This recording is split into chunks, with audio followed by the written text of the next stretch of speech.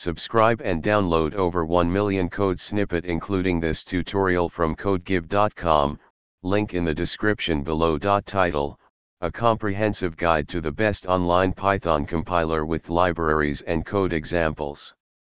Introduction Python is a versatile and powerful programming language that is widely used for various applications, ranging from web development to data science. If you're looking to experiment with Python code without the need for local installations, an online Python compiler can be a convenient solution. In this tutorial, we'll explore one of the best online Python compilers, Replit, and demonstrate how it supports various libraries for different purposes. Replit, https colon slash slash is an online coding platform that supports multiple languages, including Python. Follow these steps to get started. Replit provides an integrated development environment, IDE, with a code editor, console, and file explorer.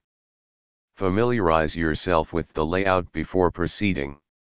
Replit allows you to add external libraries to your project. Click on the Packages icon in the left sidebar to open the Package Manager.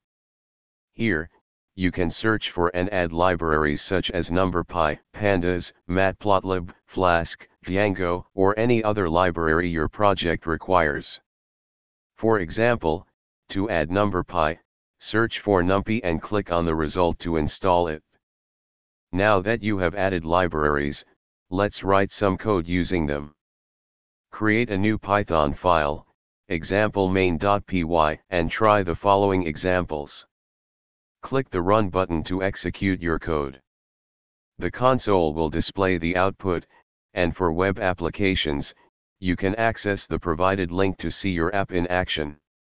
Replit provides a user-friendly online Python compiler with support for various libraries, making it a versatile platform for learning, testing, and developing Python projects.